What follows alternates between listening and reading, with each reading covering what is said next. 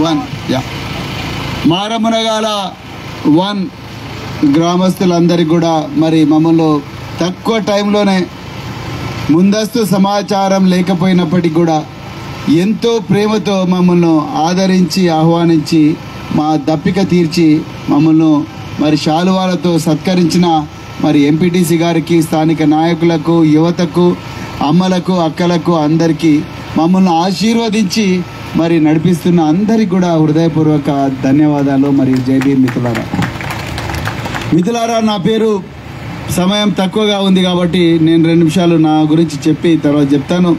నా పేరు ప్రవీణ్ కుమార్. నేను ఇదే నడిగడ్డ అలంపూరు ప్రాంతంలో పుట్టిన బిడ్డను. మా అమ్మ నాన్న ఇద్దరు కూడా ఇక్కడే టీచర్లుగా పనిచేసిండ్రు. మా తాతలు ముత్తాతలు అందరు కూడా ఇక్కడే జన్మించారు ఇక్కడే మట్టిలో కలిసిండ్రు. సో మరి ఆ ఇద్దరు టీచర్ల సంతానమే నేను. నేను ఇక్కడ కర్నూలు మన ఇక్కడ గవర్నమెంట్ జూనియర్ కళాశాలలో అలంపూర్లో చదువుకొని అక్కడి నుండి ఆంధ్రప్రదేశ్ అగ్రికల్చరల్ యూనివర్సిటీ హైదరాబాద్లో పీజీ చేసి మరి గోల్డ్ మెడల్ తెచ్చుకొని అక్కడి నుండి ఐపీఎస్ అధికారిగా సెలెక్ట్ అయ్యి ఇరవై ఆరు సంవత్సరాలు మరి ఆంధ్రప్రదేశ్ మరియు తెలంగాణ మరియు యూరప్లో మరి ఉద్యోగాలు చేయడం జరిగింది మిత్రులారా. మరి అదే విధంగా మరి ఇంకా తొమ్మిది సంవ ఇంకా ఏడు సంవత్సరాల సర్వీసు మిగిలి ఉన్నప్పటికి కూడా ఆరున్నర సంవత్సరాల సర్వీసు మిగిలి ఉన్నప్పటికి కూడా నేను నా రెండు లక్షల అరవై మూడు వేల రూపాయల జీతం నెలకు రెండు లక్షల అరవై మూడు వేల రూపాయల జీతం వచ్చేది ఆ జీతాన్ని వదులుకొని ఆ జీతాన్ని వదులుకొని ఆ ఉద్యోగాన్ని వదులుకొని ఈరోజు రాజకీయాల్లోకి వచ్చిన. నేను రాజకీయాల్లోకి రాకముందు ఇంతకుముందే మరి ఎంపీటీసీ గారు ఒక గ్రామ పెద్ద మనిషి చెప్పారు. నేను గురుకుల పాఠశాలలో తొమ్మిది సంవత్సరాలు బీసీలు ఎస్సీలు ఎస్టీలు మైనారిటీ బిడ్డలకు నేను మరి చదువు చెప్పడం జరిగింది. పది లక్షల మంది బిడ్డలు నా చేతుల ద్వారా చదువుకోవడం జరిగింది. మిత్రులారా వందల సంఖ్యలో డాక్టర్లు వేల సంఖ్యలో ఇంజనీర్లు పైలట్లు నౌకాదళ క్యాప్టెన్లు అదేవిధంగా అమెరికాలో లండన్లో ఇక్కడంతా కూడా చదువుకోవడం జరిగింది. అయితే నేను ఎందుకు నా ఉద్యోగం వదులుకున్నా అంటే నేను పుట్టిన గడ్డ మరి అత్యంత దయనీయమైన పరిస్థితుల్లో ఉన్నది. నీళ్ళు లేక రైతులు ఏడుస్తున్నారు. వచ్చిన పంటకు ఇంతకుముందే మాజీ సర్పంచ్ గారి ఇంటి నుంచి వస్తుంటే ఇంటి ముందరంతా కూడా పత్తి పెట్టుకొని కూర్చున్నారు. మరి ఇంతవరకు రేటు లేదు కేవలం ఐదు వేలు ఆరు వేల మధ్యలో తిరుగుతూ ఉన్నది.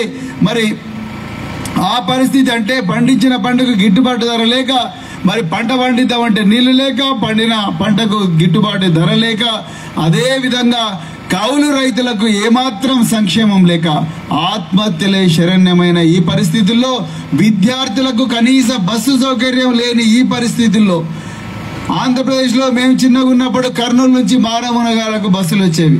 నైట్ ఆల్ట్ మారామునగాల్లోనే బస్సు చేసేది. క్యాతూరుకు డైరెక్ట్ బస్సు వచ్చేది. అలంపూర్కు సింగారం నుంచి వయా సింగారం దేమాడ గొందిపల్లి నుంచి బస్సులు వచ్చేవి. ఈ బస్సులన్నీ కూడా తెలంగాణ వచ్చిన తర్వాతగా పూర్తిగా ఆగిపోయినాయి అన్నది సత్యం. దానివల్ల విద్యార్థులకు ఇక్కడి నుండి ఉండవెల్లికి పోవడం కోసం గంట గంటన్నర పడితే పరిస్థితి ఉంది. మరి ఆ పరిస్థితుల్లో విద్యార్థులను కొడుతున్నారని చెప్పి మరి మారమునగాల టూ గ్రామంలో చెప్పడం జరిగింది. అంటే మీరు ఆలోచించండి. తెలంగాణ తెచ్చుకున్నది మన నీళ్ళు మన నిధులు మన నియామకాలు మన విద్య మన వైద్యం అని తెచ్చుకున్న తెలంగాణ ఈరోజు పూర్తిగా మనది కాకుండా పోయింది. మన డబ్బులన్నీ కూడా కేవలం ఒకటే కుటుంబం. కేసీఆర్ కుటుంబం మొత్తం ఎంజాయ్ చేస్తున్నది. ఉదాహరణకు ఇక్కడ చాలామంది చదువుకున్న యువకులు ఉన్నారు కాబట్టి చెప్పాల్సి వస్తున్నది. గత తొమ్మిది సంవత్సరాల్లో గత తొమ్మిది సంవత్సరాల్లో ముఖ్యమంత్రి కె. చంద్రశేఖరరావు గారు ఆయన నియోజకవర్గానికి ఇచ్చుకున్న డబ్బులు ఎస్డిఎఫ్ అంటే ప్రత్యేక అభివృద్ధి నిధిలో ఆయన నియోజకవర్గానికి ఇచ్చుకున్న డబ్బులు ఆరు వందల యాభై కోట్లు. ఒకటి కాదు రెండు కాదు ఆరు వందల యాభై కోట్లు. ఆయన అల్లుడు ఏ నియోజకవర్గానికైతే ఎమ్మెల్యేగా ఉన్నాడో ఆయన నియోజకవర్గానికి ఇచ్చుకున్న డబ్బులు ఏడు వందల పద్నాలుగు కోట్లు. ఏడు వందల పద్నాలుగు కోట్లు సిద్దిపేటకు ఆరు వందల యాభై కోట్లు గజ్వేల్కు. మరి అలంపూరు నియోజకవర్గానికి ఇచ్చింది ఎంత? అంటే ఐజ నుండి వడ్డేపల్లి వడ్డేపల్లి నుండి ఉండవెల్లి ఇటికాల మరి అదేవిధంగా అలంపూరు ఇలాంటి మండలాలకు ఇచ్చింది ఎంత అంటే అన్నిటి కలిపి ఇచ్చింది ఎంత అంటే ఇరవై కోట్లు. ఎక్కడ ఆరు వందల యాభై కోట్లు? ఎక్కడ ఏడు వందల పద్నాలుగు కోట్లు? ఎక్కడ కేవలం ఇరవై కోట్లు? మన మన పిల్లల చదువుల కోసం అత్యంత తక్కువ సంఖ్యలో స్కూళ్ళు ఉన్న ప్రాంతం మరి అత్యంత తక్కువ స్కూళ్ళు ఉన్న ప్రాంతం మన జోగులాంబ గద్వాల జిల్లా అలంపూరి నియోజకవర్గం. ఇప్పటికీ కూడా వలస కార్మికులుగా ఇదే ప్రాంతంలో పక్క మండలాల్లో ఉండే ప్రజలు వలస కార్మికులుగా మిరప చేళ్ళలో మిరప ఏరడానికి పిల్లలను తీసుకొని పోతుంటే నా కళ్ళతో చూసిన. ఇండ్లు కూడా లేవు.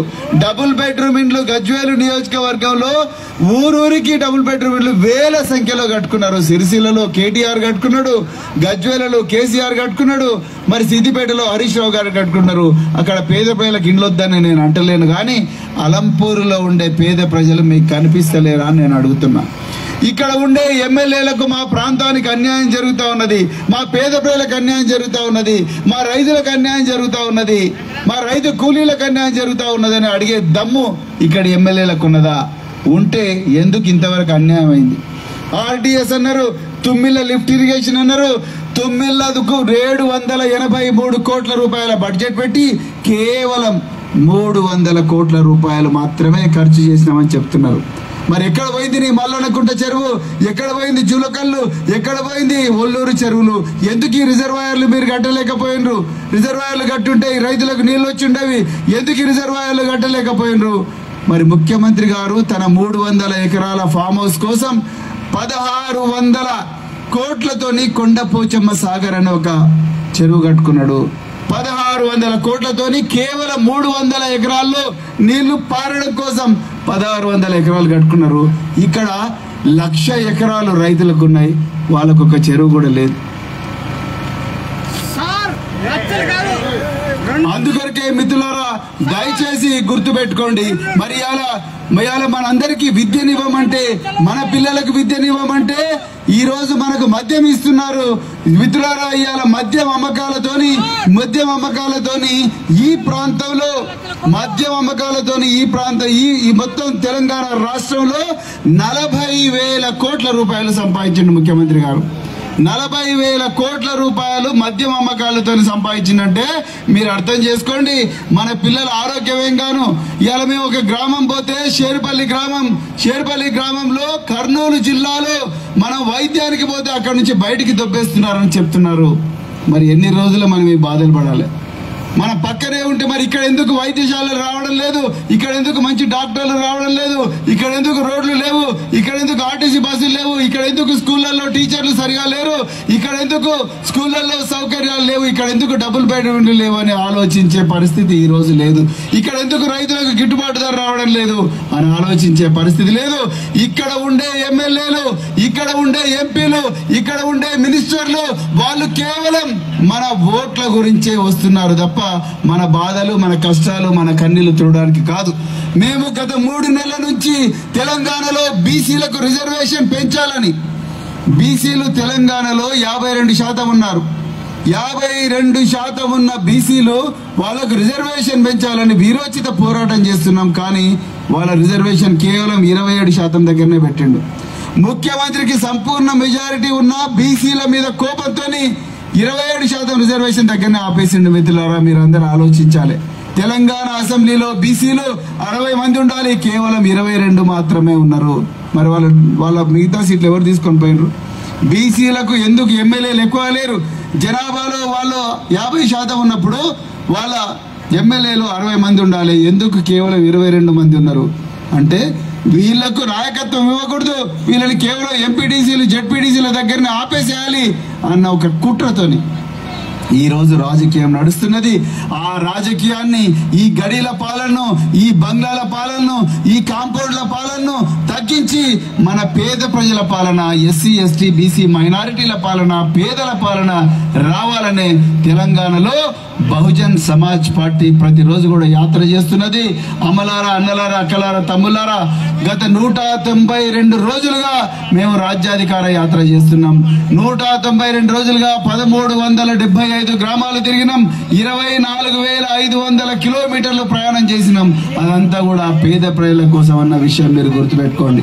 అందుకొరకే రాబోయే రోజుల్లో మనందరికీ న్యాయం జరగాలంటే మన ప్రాంతానికి న్యాయం జరగాలంటే మన మైనారిటీ సోదరులకు న్యాయం జరగాలంటే మన ముస్లిం సోదరులకు న్యాయం జరగాలంటే మన బీసీ ఎస్సీ ఎస్టీ సోదరులకు న్యాయం జరగాలంటే దయచేసి ఏను గుర్తుకు ఓటేయాలని చెప్ప చెప్పడానికే నేను నా ఉద్యోగం వదిలిపెట్టుకొని ఈరోజు గ్రామ గ్రామాన తిరుగుతున్న మిత్రులారా మరి మీరు ఇంత తక్కువ సమయంలో మమ్మల్ని ఇంత గొప్పగా ఆశీర్వదించి మమ్మల్ని ముందుకు నడిపించినందుకు మీ అందరికి కూడా హృదయపూర్వక ధన్యవాదాలు తెలుపుతూ జై భీమ్!